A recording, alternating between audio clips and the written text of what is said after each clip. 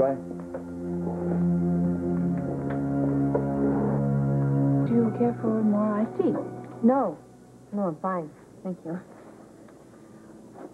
Would you Would you mind if I asked you um a question about your husband? No, go ahead.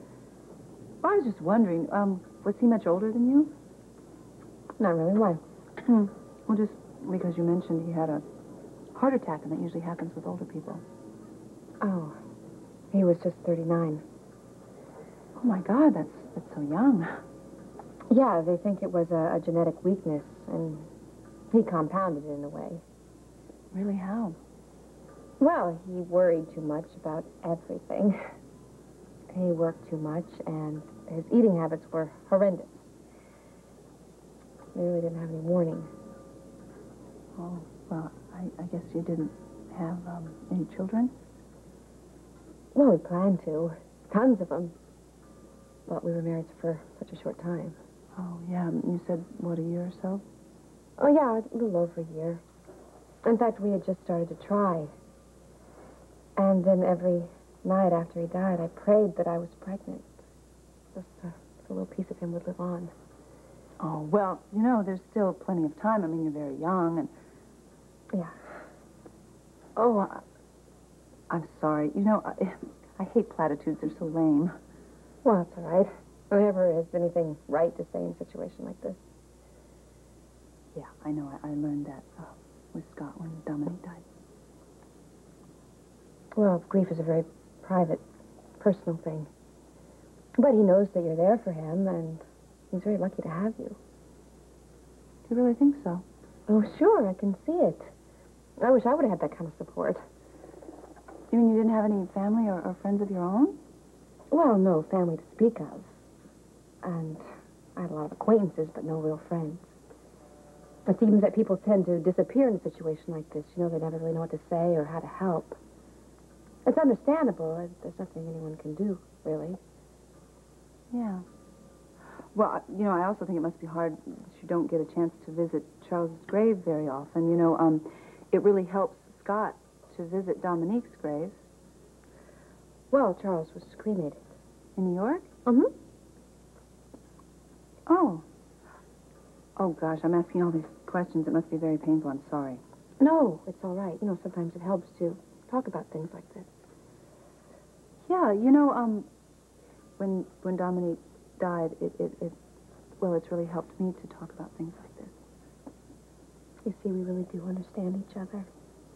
I knew it would be good for us to have lunch together. Oh, I think it was very good for us to have lunch together. Sorry, it took forever with Lucy. She grilled me when I grilled her chicken. Hi. Did you tell her everything she wanted to know? Oh, everything except name, rank, and serial number.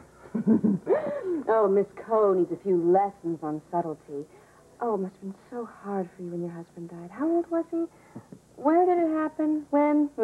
Anyway, she thinks that I think that she's my new best friend. So, did you go on that tour with Ned?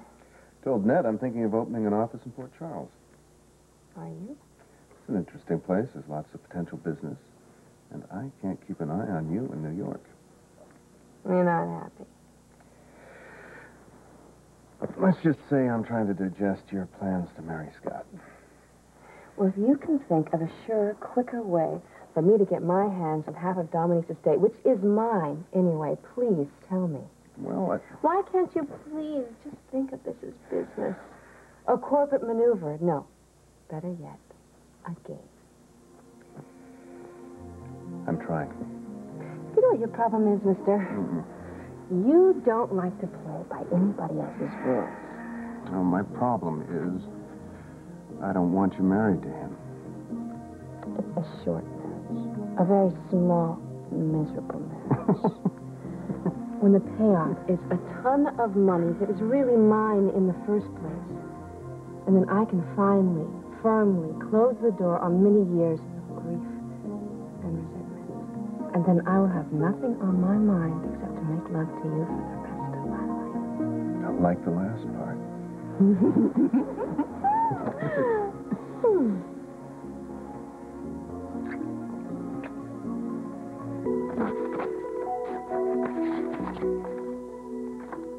Welcome, Julia and Scott. How does it feel to be Madam Executive? What are you doing here? Seizing the moment. Hmm, Damian. No one's around. How do you expect me to concentrate on my work? No, concentrate on Scott's millions. Should I be jealous of the flowers? No. you should really have Julia move you into your own office. Well, it's not ready yet. I assume this is for personal reasons you're concerned about my office. Well, among other things. Like what other things? The Deception's director of public relations should be surrounded by luxury. No, you just like spoiling me. Mm-hmm. But you're right. I should have a place that Scott can just drop in and hang out privately. Away from the watchful eye of you know who. Romancing Scott may be a little tricky with Lucy breathing down your neck. Well, I can handle Lucy for now. But you're going to be double trouble when that baby's born. I mean, Scott might all of a sudden decide that she's the perfect mother, and then all bets are off. Somehow I don't see Lucy as the motherly type. Oh, don't underestimate Lucy. She can be whatever she thinks Scott wants her to be. Oh, um, I'm sorry. I do hope I'm not interrupting anything.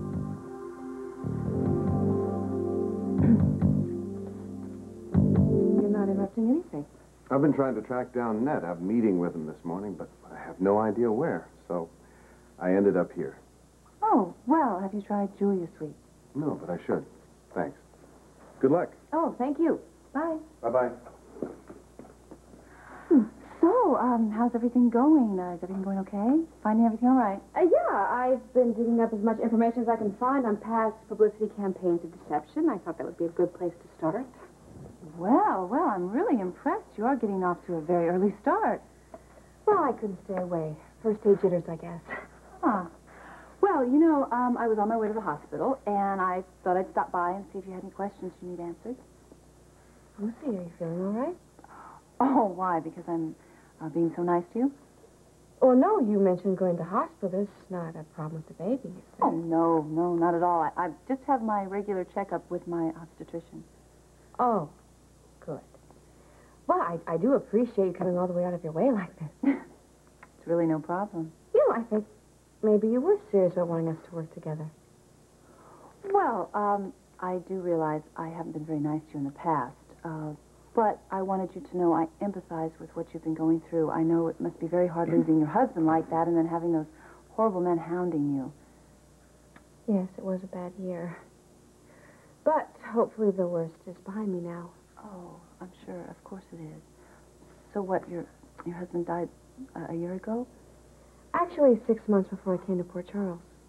So I made it like last November. Yeah. I went through the whole winter before I got the nerves right, Dominique.